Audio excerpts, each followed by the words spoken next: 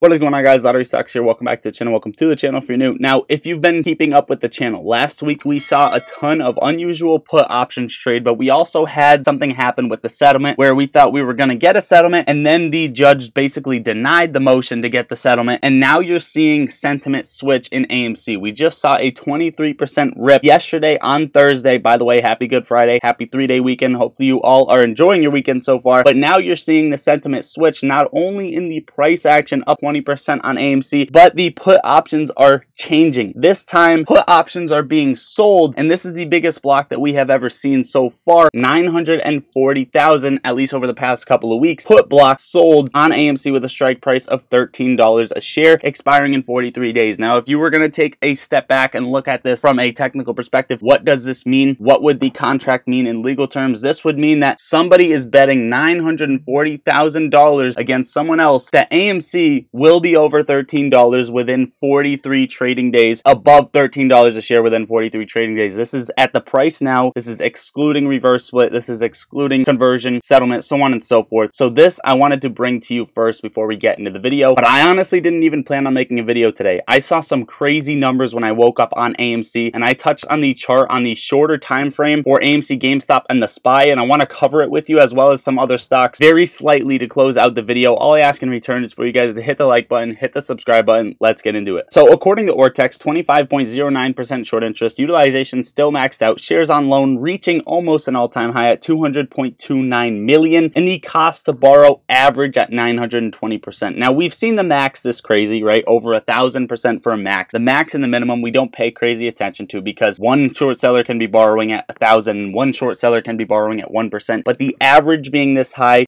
is absolutely crazy. 920%. This means if your position's a thousand, you're paying 9,000 to borrow shares, so on and so forth. So short sellers are paying nine times their position just to borrow shares. This is exactly what you would see if an entity is trapped in a play. According to Ape, 5.62% short interest, utilization 73%, cost borrow average sitting right around 9%. Now, Robinhood was just fined $10 million for basically what happened with the GameStop saga, which of course is not a big enough fine, especially seeing how much they got bailed out, right? Bailed out during the situation. Not only that, but they got a bribe from Ken Griffin for basically $2.2 billion and they're only getting fined 10.2 million, which is just a slap on the wrist, right? If it all played out the way it should play out, Robinhood would not be an app right now. It would not be a broker dealer, so on and so forth. They would not exist. They would have went bankrupt. They got bailed out and now they're getting a little slap on the wrist fine. The reasons for these fines are negligent customer disclosure of inaccurate information, including margin and risk associated with multi-leg option spreads. Basically, technical failures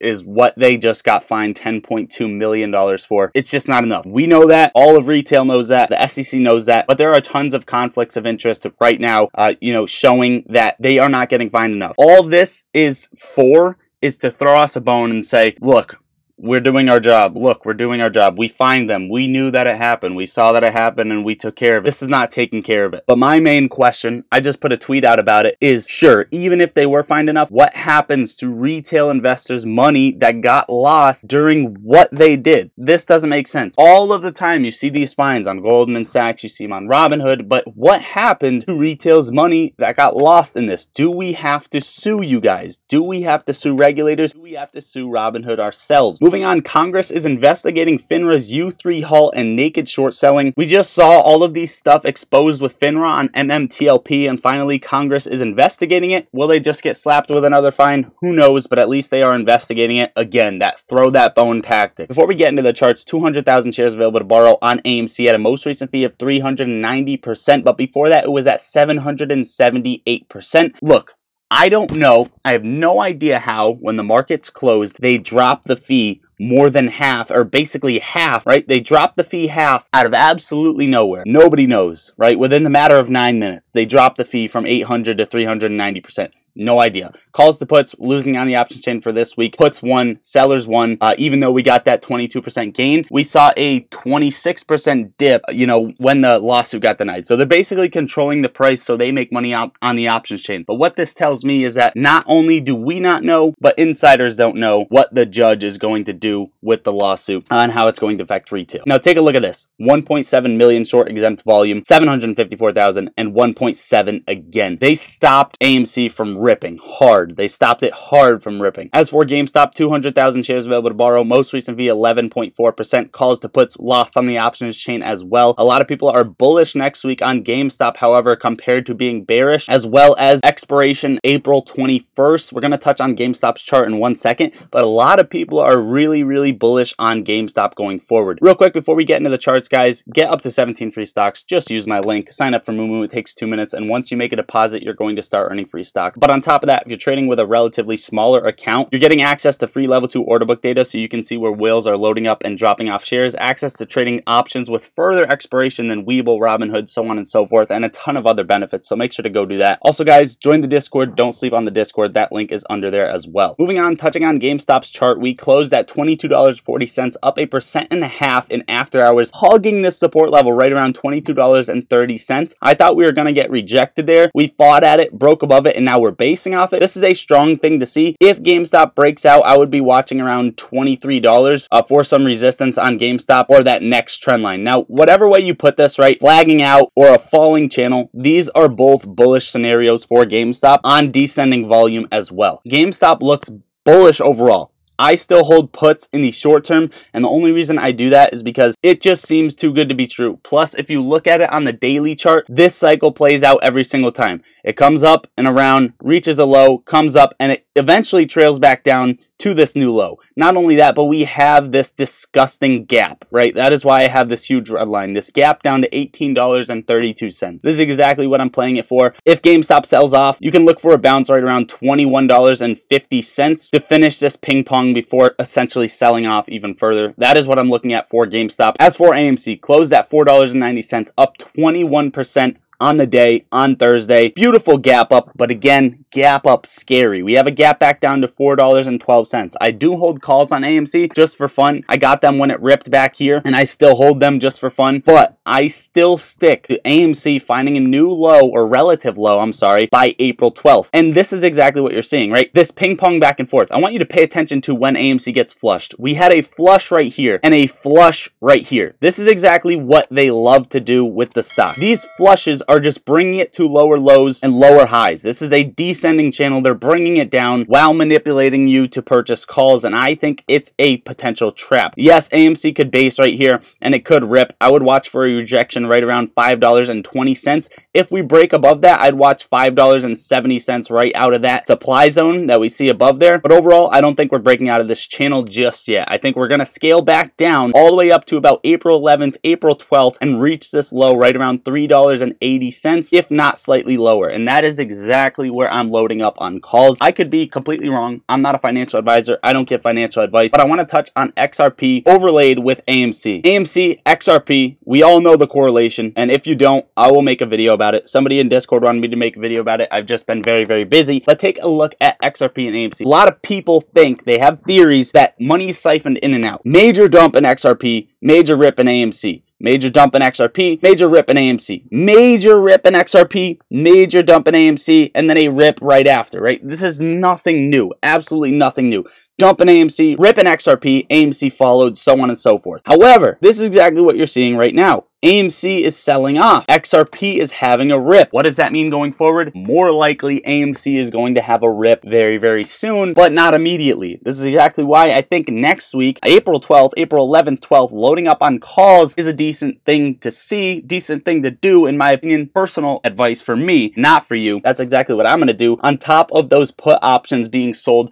that we see above that $13 strike price. So essentially bullish thing to see. If you guys haven't seen what happened with BlackRock, I posted a video video yesterday on it, and I'm going to touch a tiny bit on it at the end of this video. But the S&P 500 closed at $409.19, up 0.3% after hours. I wanted to point out one thing on the SPY. This is a dangerous thing to trade, and the only reason I say that is because the economy is not looking strong, but it's basically fooling you with the overall chart. And this is just my outlook. I think this is a trap, even though it looks good. Look at the volume. These, this is exactly where buyers and sellers are matched. Buyers and sellers are are matched up here. And it, then it comes down to one, one simple thing. When buyers and sellers are matched, what is the more common sense, logical thought right here? Is the economy strong? Can we climb for another 10 years in the S&P 500 in the overall market? And my answer to you is absolutely not. And this is just my outlook. I think the SPY comes down, retraces back down to about 404, retests this little level right here before essentially either breaking lower, retesting 398, or breaking higher. But if we break higher, we need to break over 420. That's it. If we break over 420, I'll change my sentiment on the SPY and I'll stick to that. Before I forget, based on this Robinhood settlement, I'm going to be grabbing puts probably market open on Monday on Robinhood. Uh, I have to take a better look at the chart, but honestly, safely betting puts on Robinhood a few months out seems to always work for me, so I will probably be doing that. If you want my trades right away, I, I drop them in Discord. Now, real quick before we close out the video, Bed Bath & Beyond. Bed Bath & Beyond, dead. It, it, it, looks dead. A lot of people are pissed off. It's bankrupt company, basically, uh, but it's not a fundamental play. It's a short squeeze play. And we are coming up right around this level where Bed Bath & Beyond has potential to bounce. It has potential to go lower and get switched to the over-the-counter market. The last times Bed Bath & Beyond outsold this trend line. It only outsold 10%, 27, 57. So it could sell even further, but we don't even have that potential. Bed Bath & Beyond is trading at 30 cents. There's not much lower this thing can go before it actually goes to zero. I think Bed Bath & Beyond is getting a bounce right around 15 cents to 12 cents. I think Bed Bath & Beyond is getting a bounce right around there, and I'm going to let it sell off a little bit further. However, if GameStop AMC runs very, very soon, I think Bed Bath & Beyond is going to have a sympathy pop as well. Now, the numbers for this are crazy. 1.3 million shares available to borrow. The options chain, for some reason, is wiped, but only on the call side, right? So some fuckery is happening on the weekend. Only on the call side, right? Uh, and then out of the money on the put side. Now, if you look at the short exempts, this is this is disgusting. 1.9 million, 3.4, 2.7, 2.4, 1.5, 7.3 3 million short exempts. I mean, this is disgusting. They're pumping this thing into the floor. This shows me that they are trying to race as fast as they can to get this to zero for some reason. They really, really don't want Bed Bath & Beyond to rip one more time. I think it will cause something very, very bad for them. But you guys let me know your thoughts in the comments on this down below. And we have some fun earnings coming up week. BlackRock is burning right now. Even if their earnings do good, I don't know. They have earnings on Friday. We're going to talk more about that in Discord, as well as Citi, Wells Fargo, and some other banks as well, and some more important earnings that we will make some DGen bets on in Discord. So if you guys want to join that, link under the video. Also get your free stocks. I love you all. Enjoy the rest of your weekend. Lottery stocks out.